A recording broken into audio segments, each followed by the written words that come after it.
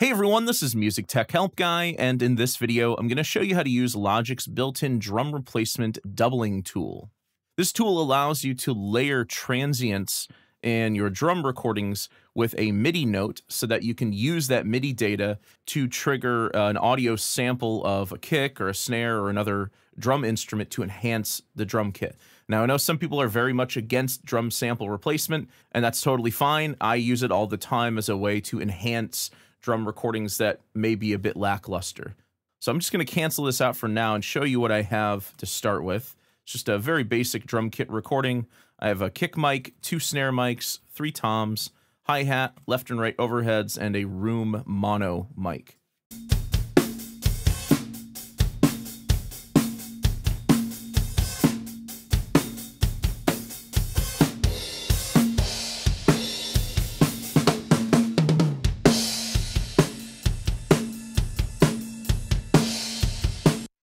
So you can hear that these are completely raw. These are just the raw sound coming off the preamps. Although I do have some uh, drum leveler on the toms and the snare condenser mic just to cut out some of the bleed. And then the gain plugin is on the room mono track just to flip the phase. But otherwise, these are just completely raw with a rough level and pan mix. So the way this works is you're going to select the track that you want to replace. In my case here, I want to replace the kick and snare tracks just to give the kick a bit more fundamental. And I also want to give the snare a bit more body as well. So I'm going to select the kick track here. And then what I'll do is press Control D. This will bring up the drum replacement doubling tool. And what you'll see this does is it creates a software instrument called Kick Plus just below the original kick track. And on this software instrument track, you'll see that it creates a MIDI note for each transient within the original recording. Now, what you need to do is sort of scroll through and make sure that you're not getting any erroneous kick hits. Sometimes you will, and you'll just have to go back in and manually remove those MIDI notes. But you can adjust how many MIDI notes you get by adjusting the relative threshold here. But first, let's select our instrument. So you can select kick, snare, tom. You can choose replacement or doubling mode. I'm going to choose doubling mode. All this does is, is if you're in replacement mode, it mutes the original audio. If you select doubling, it doesn't mute the audio. And then the relative threshold, like I said, controls the threshold or the sensitivity of the transient detection. So as you pull this down, you'll see more notes being triggered. As you pull this up, you'll see less notes being triggered. So things like this, these little snare hits in between the kick hits, I don't want those. So I don't want to go too low with the threshold.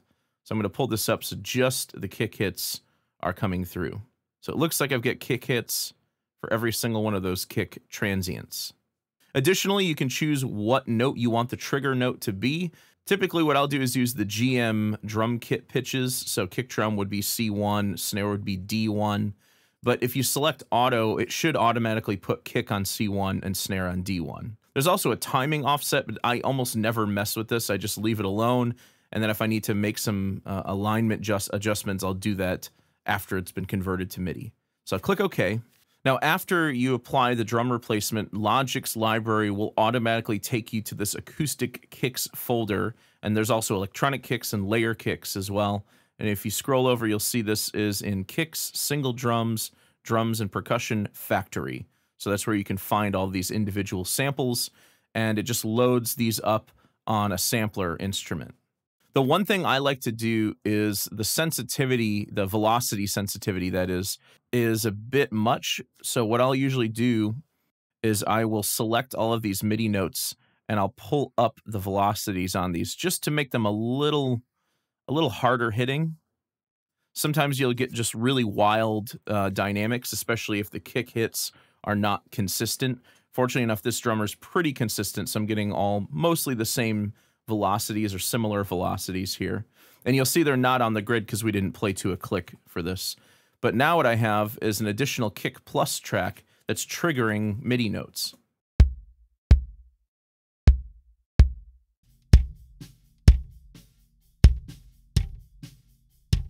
So that's the original kick just on its own.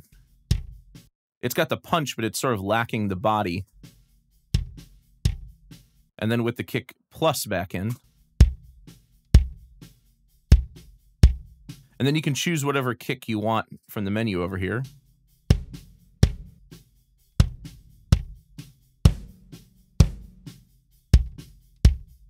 Now, what's really great about this is you can actually just drag in your own sample if you like.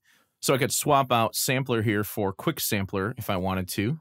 And then I can just drag and drop in any drum sample I like. So I've got this hard hitting uh, kick sample here that I like. The only thing you got to remember to do is set the root key to the same note as the trigger note. So I'm to roll this down to C1. Let's see what that sounds like.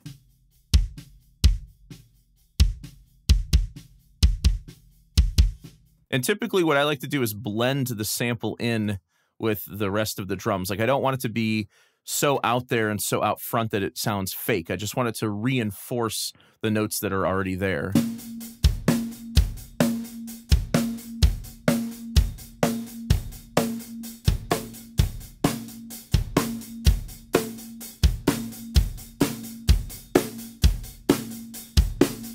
So that's the kick track. Now let's do the same thing to the snare. So I'll select the snare top mic.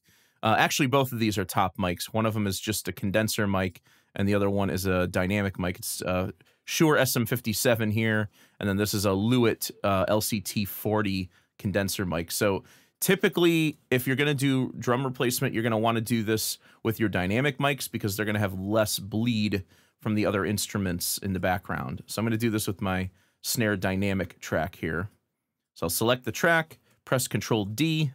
This time I'll switch over to snare. Again, I need to go through and make sure that I'm not getting any erroneous notes and that all of the snare notes are being triggered, especially these fast notes. You want to double check those. If you have a lot of like fast double bass and things like that, if you're doing like metal, you're probably going to have to do a bit more manual editing to remove some erroneous notes.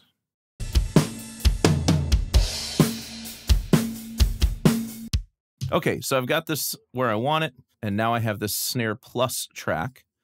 And just like the kick track, this has sent me over to an acoustic snares folder, where I can choose several different snare samples. But like I did before, I'm going to pull up the velocities a bit.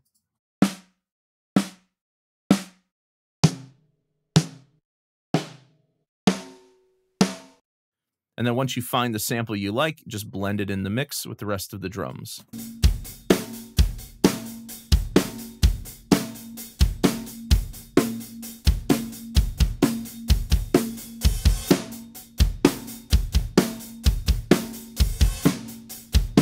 Now, just like I did for the kick drum, you can go back in and swap out your snare sample for whatever sound you want. So I'll just go ahead and turn off sampler there, or get rid of sampler. I'll load up Quick Sampler instead. Now, if you want, you can actually build your own sampler instrument with multiple round robins or alternating samples, multiple velocity layers. That's just going to take a lot of extra work. Or you could simply load up your favorite third party drum instrument and use that for your sample replacement instead. So there's a lot of options here. So let's see what this new snare sample sounds like. Okay, so the reason why it's all uh, detuned like that is because I didn't set the root key. So let's pull that down to D1. Another thing that's probably a good idea when using Quick Sampler is to load this in one-shot mode. And what that'll do is it'll make sure that the entire sample plays regardless of the length of the MIDI note.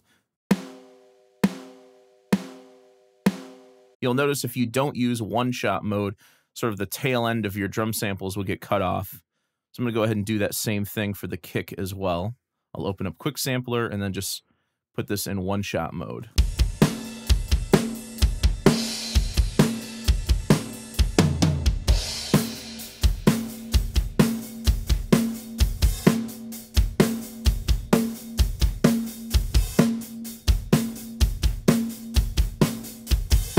And again, if I mute my samples,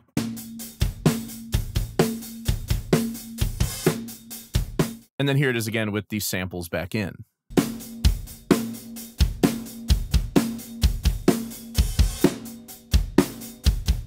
And then you can just continue on mixing your drums any way you like, and then just blending the samples in with your existing recording.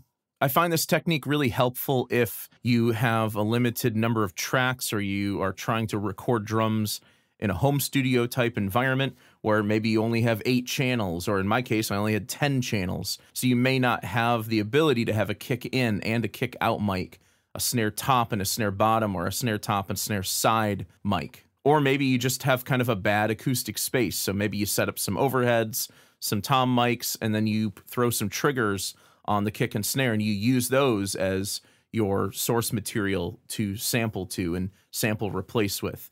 So it's completely up to you how you do this. I prefer a setup where I'm just sort of tucking samples and blending them under the existing recording to enhance them rather than completely replacing them.